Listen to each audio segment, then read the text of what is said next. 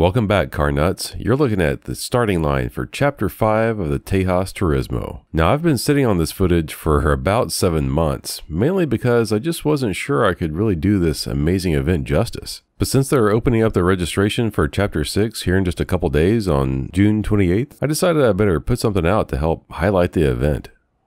Now, if you've never heard of the Tejas Turismo, it's a three day vintage driving tour that takes place in the beautiful Texas Hill Country. It's limited to 100 vehicles and it sells out quick. Last year is sold out in just a little over 20 minutes.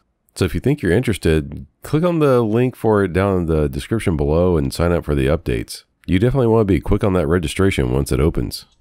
You know what really makes this event special is, yeah, sure, there's lots of cars here that most people would just assume would be fine sitting in a museum somewhere. But no, everyone here really loves to drive.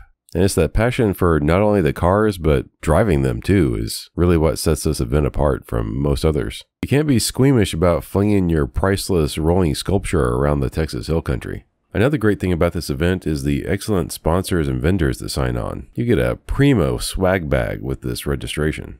And of course, your usual things like a decent water bottle and t shirt, sweet driving gloves. But I really love the jacket from Pacto, and they make a new design every year. So I had signed up for the event in my blue Bertone, but in typical fashion, it crapped out on me just the day before the event. And at the time, the only other vintage car I had running was the Abarth Wrecker. So I figured, why the heck not? Just take it. I mean, after all, it was designed to drive around in the mountains of Italy, rescuing cars that had slid off the mountain. So it should do just fine in the Texas Hill Country. And having to take the wrecker was actually a really sweet little accident because I actually got to meet the guy who imported it to the US. That was a great little bonus hearing that story.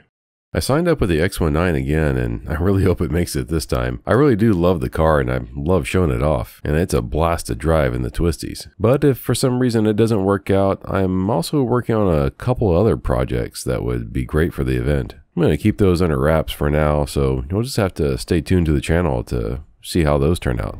The footage you've been watching so far has just been at the start of the event, but it's really all about the driving. It's really something to see all these beautiful vintage rides getting flogged out in the twisties. If you're curious about how the driving portion of the event went, I posted a video a while back of me driving the wrecker through the Twisted Sisters. Oh dear! Hang on, Nick! Were you just not paying attention or? Uh, I didn't think I was going to go flying. I'll leave a link for that down in the description below and probably also in the end screen cards as well. It was pretty hilarious hoofing that thing through the turns, so be sure to check that out. I still have a ton of video from this event and I'm expecting to have a ton of video from the new one too, so I don't know. I'm going to have to find the time to fully show everything. But for now, I just want to get something out quick and let everyone know about this amazing event.